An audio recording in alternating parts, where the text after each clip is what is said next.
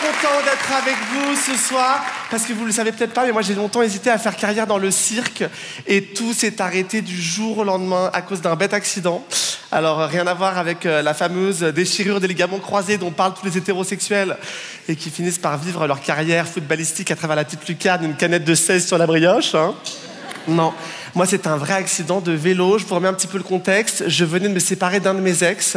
J'étais dans une déprime pas possible. Pour ceux qui connaissent pas le sentiment, vous savez, c'est comme si tous les matins, à chaque fois que tu ouvrais les yeux, tu apprenais qu'Isabelle Balkany existe. Et genre, tous les matins, tu l'apprends une nouvelle fois. J'étais vraiment au fond du trou. J'étais tellement dans le bad, j'ai tellement foutu le seum à ma chatte, Ginto, que j'avais en garde partagée avec mon ex, qu'elle a essayé de se foutre en l'air.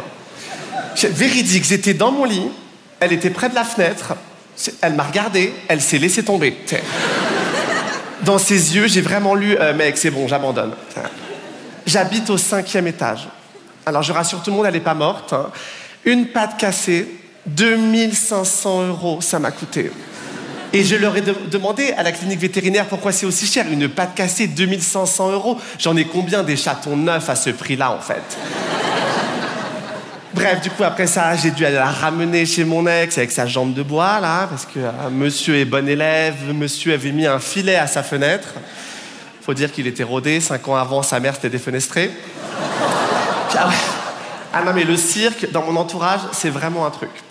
Du coup, bah, je me suis retrouvé seul. Euh, et moi, comme je déteste la solitude, bah, je me suis inscrit sur une application de rencontre. Je match avec un mec plutôt pas mal, bien sous tout rapport, instituteur. Je me suis dit, ça va plaire à maman. On fixe un rendez-vous, j'enfourche mon vélo pour aller le rejoindre, je monte le boulevard Magenta à Paris. Euh, j'avais les cheveux au vent, mais littéralement les cheveux qui s'envolaient, mes derniers cheveux, donc je panique, je perds le contrôle de mon bolide, et là, je me prends un arbre. Pour ceux qui ne me suivent pas sur les réseaux sociaux, déjà c'est un tort. Vous taperez en rentrant chez vous après le gala euh, Tristan Lopin euh, sur la toile du web, vous taperez Tristan Lopin accident ou Tristan Lopin tout court, parce que ces gros bâtards en ont fait la première photo qui apparaît quand tu tapes mon nom dans la barre de recherche. Quand je dis que je me suis pris un arbre, c'est pas qu'on s'est rencontrés. C'est pas qu'on s'est bousculé c'est que mon visage s'est littéralement écrasé sur son écorce. J'ai carrément dû me décoller et premier réflexe de connard, euh, ils sont mes écouteurs. Mais ça n'a pas de sens. Qui cherche ces écouteurs? Il y avait du sang partout, les gens s'étaient attroupés, une dame gentiment qui s'approche de moi. Moi, je vois la scène, je, je la regarde, je dis, mais qu'est-ce qui s'est passé Mais quelqu'un s'est blessé? Elle m'a regardé avec une tête, genre, euh, ça va être très très long là. J'avais les avant-bras maculés de sang. On aurait dit Carrie, le bal de l'horreur en plein Paname. Je me souviens même pas du camion de pompiers, c'est vous dire que j'étais dans le coltard. Le seul truc dont je me souviens, c'est que j'ai dû envoyer un texto au mec pour lui dire que je serais pas au rendez-vous rapport au fait que je me suis pris un arbre. Clairement, il m'a cru. personne n'invente de mythos aussi gros pour échapper à un rencard, ça n'a pas de sens. J'arrive aux urgences, accueilli par une interne clairement débutante, à qui je demande un mouchoir parce que j'en ai plein de pif. Elle me tend un sopalin, grossière erreur. C'est le truc à ne jamais faire. C'est-à-dire que lieu de tout évacuer par le nez, tout le sang est remonté dans ma paupière inférieure. Et je me suis mis à pleurer du sang. Et je lui dis à la nana, excusez-moi, c'est chelou, mais je pleure du sang en mode manga, enfin vraiment le bat quoi elle, clairement un peu dépassée par les événements, qui me dit Oh Non, mais c'est normal, tout va bien. Euh, je me suis pris un arbre, je suis pas teubé en fait. Et elle en rajoute une couche. elle me dit Ah, par contre, en retournant dans la salle d'attente, remettez bien votre masque. Je sais même pas où est ma bouche, idiote. Elle a même dû me recoudre ma lèvre inférieure parce que je me l'étais éclaté contre mes dents avec l'arbre. La meuf a oublié de m'anesthésier. Elle parlait à sa collègue, elle était là. Oh, ouais, du coup, t'as pris des lentilles corail à midi? Moi, j'étais là, je sais que je m'en prends plein la gueule dans la vie de manière générale, mais je ressens encore la douleur, en fait.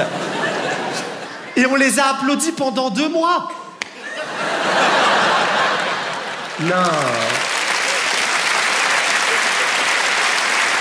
Non mais sérieux On se rend pas compte là, à cause de ma beauté naturelle, mais...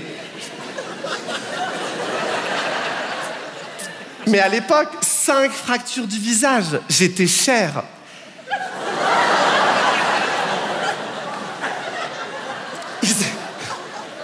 Vous êtes vraiment des bâtards. Ils ont même failli me mettre des vis sous le palais pour faire tenir le bordel, parce que ma mâchoire était à un centimètre de se désolidariser du reste de mon crâne. vous voyez dans les dessins animés quand la mâchoire avance avant le personnage? Ça, c'était moi. Quand je me touche ici, là, je sens ma dent de devant. Le nez, c'est ma nouvelle zone érogène. Enfin, c'est un délire. Franchement, non mais autant je suis écolo, hein, mais à partir de ce jour-là, j'ai commencé à manger du Nutella H24 et à me masturber devant des documentaires sur la déforestation. T'es, tu vas le couper, celui-là non, mais, et dans la presse People, il titrait euh, Tristan Lopin, il ment à ses fans, il s'est fait agresser par des homophobes. Euh, j'aurais préféré. Mais tu te doutes bien, j'aurais été agressé par une bande de connards, on aurait vendu des billets, on aurait fait le buzz, j'aurais été invité à 7 à vous. Tu fais quoi avec un mec qui s'est pris un arbre? Ah Bah si, invite-le à silence, ça pousse.